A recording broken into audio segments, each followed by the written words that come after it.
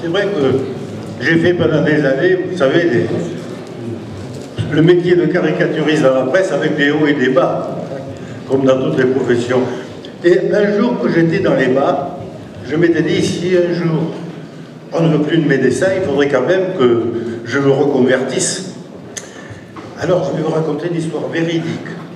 J'avais un ami dans le Midi qui a hérité d'une propriété. Il s'est dit, puisque j'ai la propriété, je vais faire le paysan. Comme il ne savait pas le faire, il a fait faillite. Et je vous jure je n'invente rien, il est rentré à Avignon, ministère de l'Agriculture, comme conseiller technique. Ce jour-là, j'ai compris la philosophie de notre époque. Quand dans un métier, on ne s'en sort pas, eh bien, on arrive encore à s'en sortir en enseignant aux autres comment on ne s'en sort pas. Alors je vais, je me suis dit, ben, je vais faire des, cours de caricature, comme je n'étais pas assez sérieux pour faire ça dans les écoles, et pas assez compétent, je me suis dit, je vais faire ça dans les cabarets. Alors vous allez voir que la tête des hommes politiques eh correspond tout à fait à leur, euh, euh, à leur physique. Alors je commence. Comme je commence par Hollande, il lui faut toujours beaucoup plus de place. Euh, Alors je commence d'ailleurs pour le plus haut placé.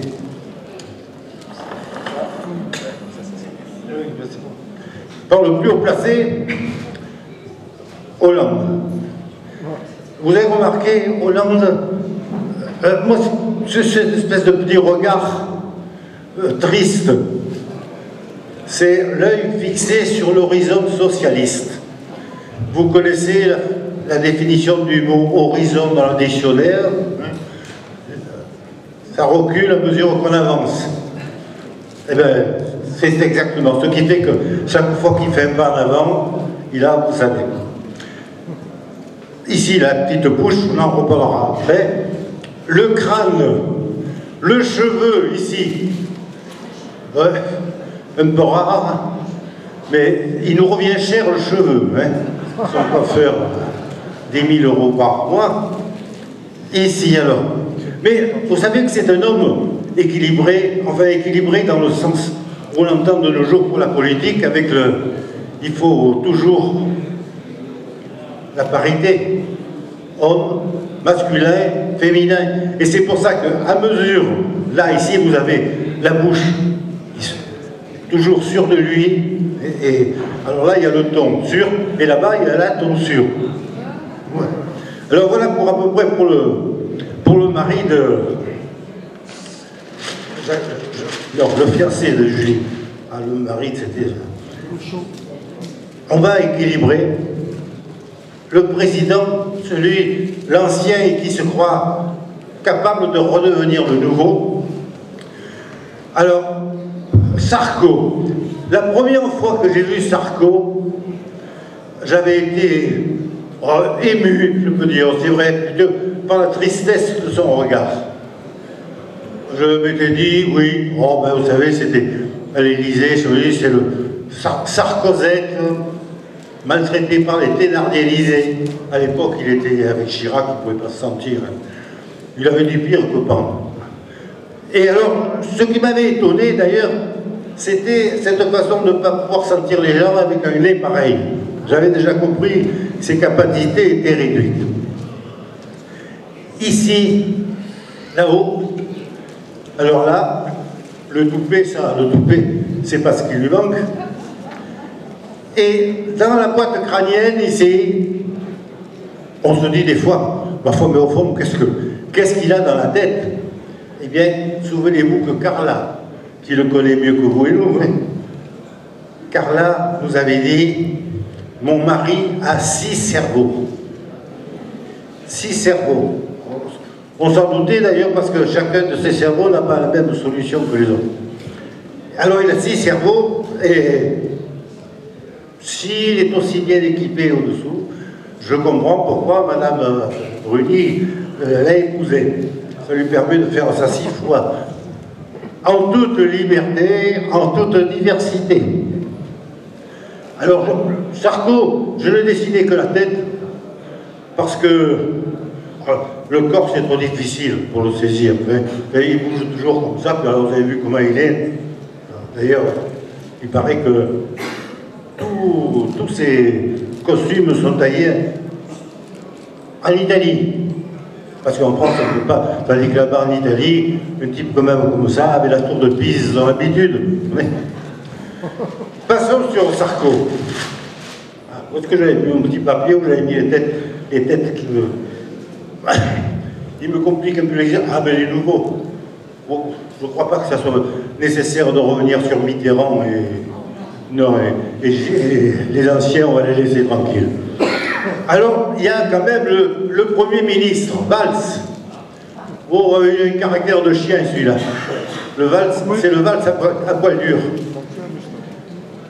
Là, au-dessous de Valls, là c'est difficile parce que c'est l'œil, l'œil mauvais, hein. toujours l'œil. Ah oui, l'œil. Ah, c'est son côté espagnol. Vous comprenez? Ben oui, d'abord il est né espagnol et de père espagnol, bien entendu. Son père était peintre. C'est de là qu'elle est venue son habitude de se mélanger les pinceaux. Et sa mère était aussi euh, espagnole, hispanique la mère, comme ils disent là-bas. Alors, au-dessous, vous avez ici la bouche, il faut reconnaître que c'est pas, c'est pas un rigolo, ouais, Valls. C'est pas un rigolo, là-bas, dans la tête, Bon, la boîte crânienne, on se demande ce qu'il y a, mais on le sait déjà, il y a la, philosophie socialiste. C'est-à-dire qu'un socialiste ne doit pas hésiter à mélanger l'inutile au, désagréable. C'est là leur loi. Et alors voilà, je disais c'est pas rigolo, mais ça fait autre son côté hispanique aussi.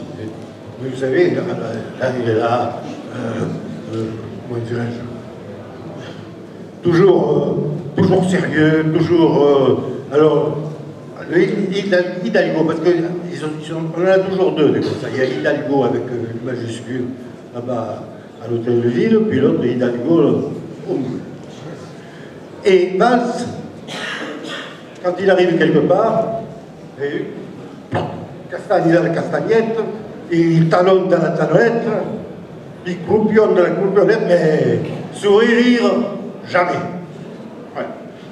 Ensuite, le valse, qu'est-ce qu'on va faire?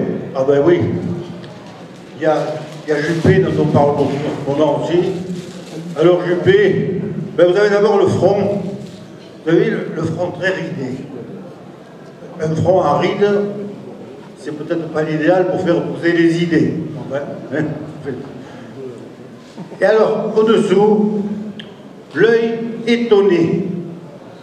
Et au fond, on peut dire qu'il a vraiment de quoi être étonné, parce que quand euh, on a eu le parcours qu'il a eu, se retrouver là-bas à Montréal, poursuivi, etc., puis tout d'un coup, maintenant presque président de la République, c'est quand même ça.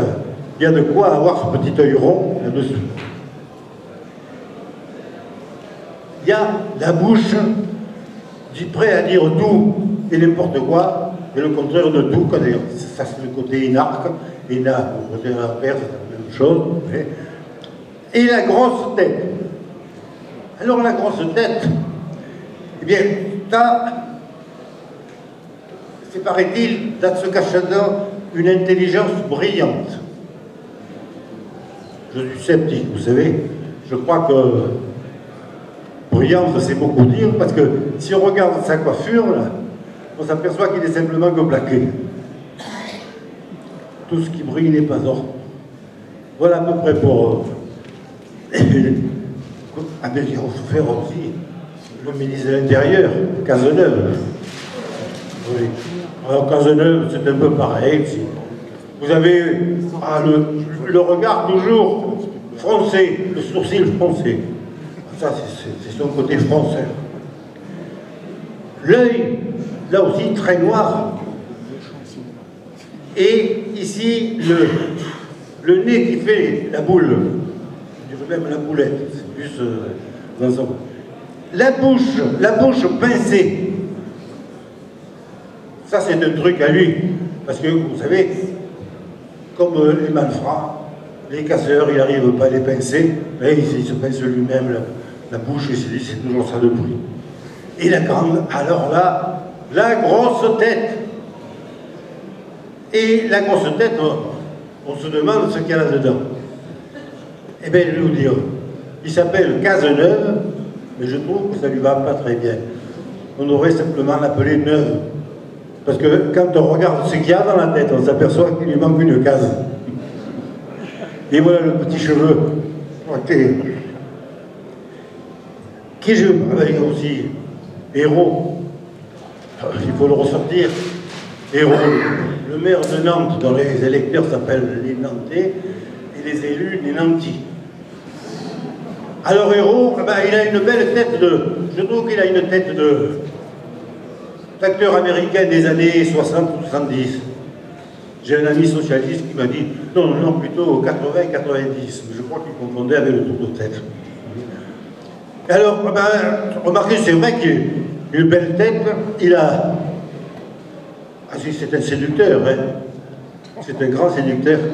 D'ailleurs, vous savez que c'est lui qui avait on a pris ça par Gala et autres, il avait consolé Ségolène quand Flamby était allé faire un enfant à Hidalgo.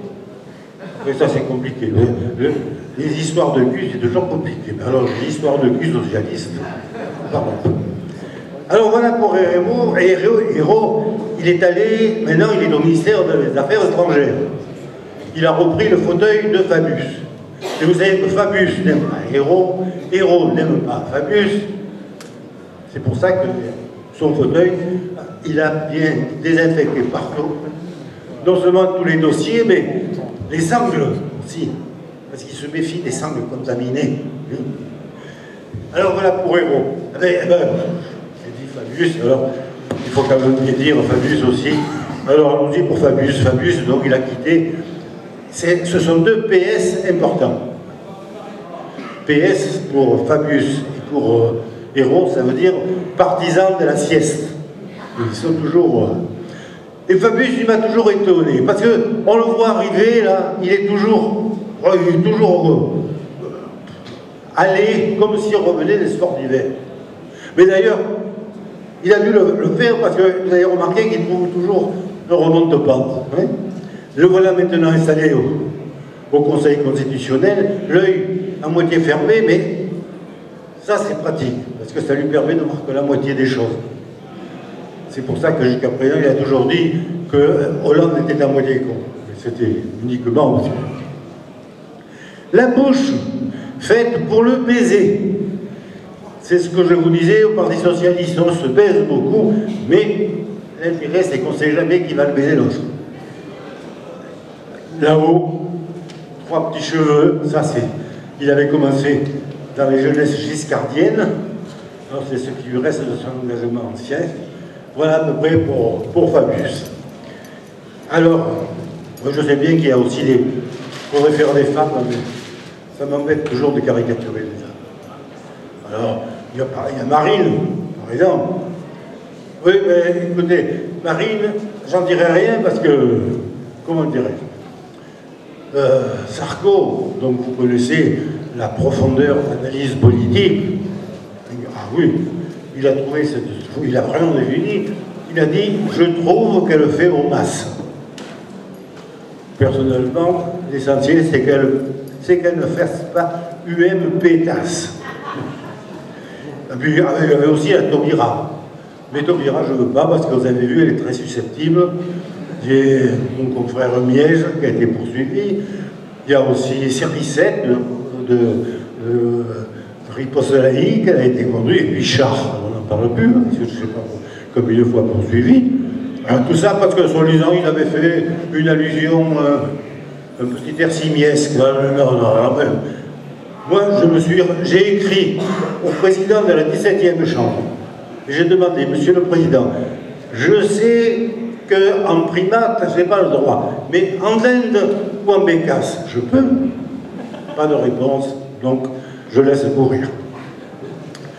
Et puis, eh ben, c'est à peu près tout. Donc, Euh, S'il y en a un quand même, je vais terminer par un qui est incontestable, indispensable aux caricaturistes, heureusement il n'est pas mort il trouve toujours un mot à dire, c'est Raffarin. Vous savez que Raffarin, on l'a mis là-bas, parce qu'ils étaient tellement en train de se disputer à l'UMP qu'ils avaient mis ce nez il s'était dit, mais ils se bouffent toujours le nez entre eux, va mettre un qui se le bouffe lui-même, ça va peut-être les calmer. Voilà, mais est, toujours indispensable grâce à ses fameuses raffarinades. C'est lui oh, il a eu les, jeunes sont destinés à devenir adultes. C'est du Ravarin pur oui, oui.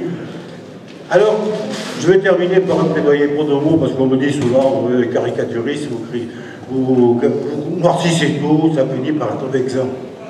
Alors ça finit surtout par être vexant pour moi. Je me suis dit, je vais essayer de donner mon tour en montrant aux gens que gribouiller n'importe quoi sur une politique, c'est pas toujours euh, être...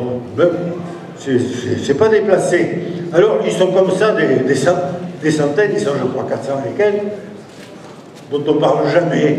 Alors, mais il y en avait un, par exemple, je prends le un petit député de base dont personne ne parle. Bon, on prend là. Les gens se disent qui c'est celui-là? Ça n'a aucune importance. C'est voulu simplement vous montrer que gribouiller n'importe quoi sur une politique, ben, ce n'est pas toujours être déplacé. Et non seulement ce n'est pas être déplacé, mais c'est au contraire lui redonner sa place dans le corps politique de la République. Voilà.